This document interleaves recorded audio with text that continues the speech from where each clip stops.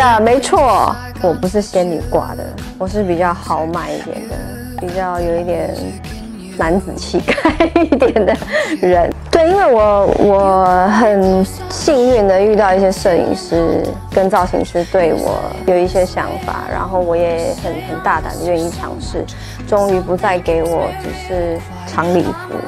对，然后给我的场景也不是这种很乖的东西，所以我就可以更大胆的玩。所以我觉得跟摄影师的互动其实是还蛮重要。扫描二维码，更多精彩内容和免费好礼等着你哦。